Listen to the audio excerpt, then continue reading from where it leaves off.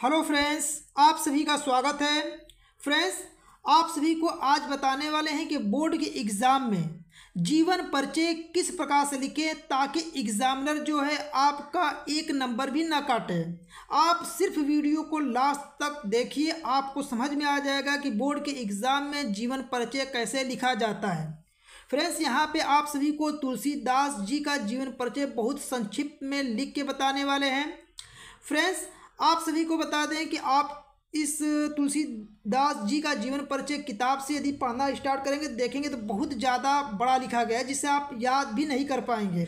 लेकिन यहाँ पे आप सभी को तुलसीदास जी का जीवन परिचय बहुत संक्षिप्त में लिखे हैं। सिर्फ़ इसे देख के अपने कापी पे एक बार इसे लिख लीजिए, आपको तुलसीदास जी का जीवन परिचय लिखते लिखते याद हो जाएगा। इतना संक्षिप्त में लिखा गया है। चलिए फ्रेंड्स, बता दें आपको कि आप बोर्ड के एग्ज़ाम में जीवन परिचय कैसे लिखेंगे? देखिए, पहले पेज पे तो आप यही कीजिएगा, संक्षिप्त परिचय हेडिंग डालिएगा ऊपर, और एक लाइन छोड़ के पहले इनका जो संक्षिप्त परिचय, जैसे जन्म कहाँ पे हुआ मतलब जन्म कब हुआ, मृत्यु कब हुआ जन्म स्थान उनके माता का नाम, उनके पिता का नाम, गुरु का नाम, उनकी प्रमुख रचनाएँ संक्षिप्त में लिख दीजिएगा, जैसे यहाँ पे लिखा गया है। पहले पेज पे तो यही लिखिएगा।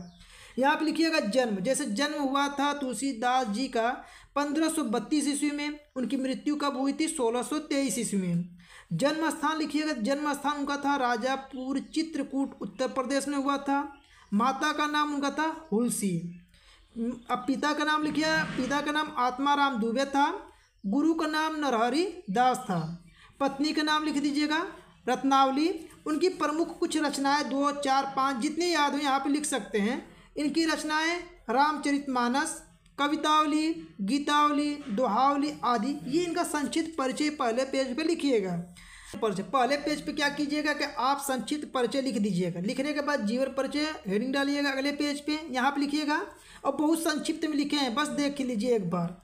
तुलसीदास का जन्म चित्रकूट ज़िले के राजापुर नामक गाँव में सन पंद्रह ईस्वी में। देखिए यहाँ पे जो रहेगा पंद्रह ईस्वी, इसे ब्लैक पेन से लिखिएगा, ठीक है? पंद्रह ईस्वी को ब्लैक पेन से लिख दीजिएगा। में हुआ था।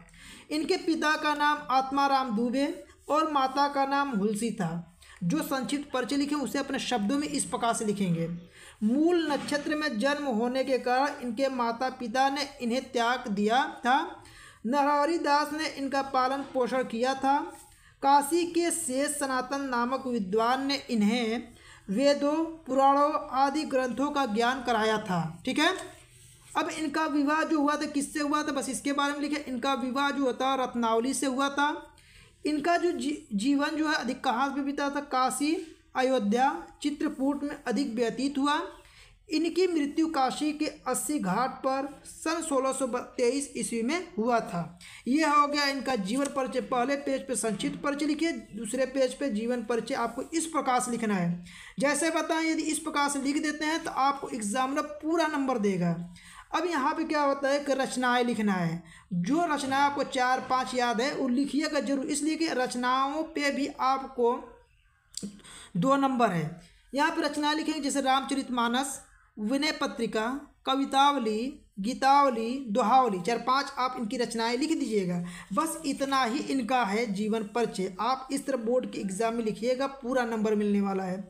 आप इसी जीवन परिचय को किताब में जाके देखिए। किताब में बहुत लांग लिखा है जिससे आप याद भी नहीं कर पाएँगे और बोर्ड के एग्ज़ाम में अच्छे से लिख भी नहीं पाएँगे।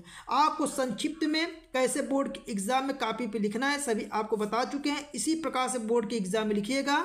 जीवन परिचय आपके बोर्ड के एग्ज़ाम में पाँच नंबर का आता है टोटल पाँच नंबर आपको मिल जाएगा, ठीक है?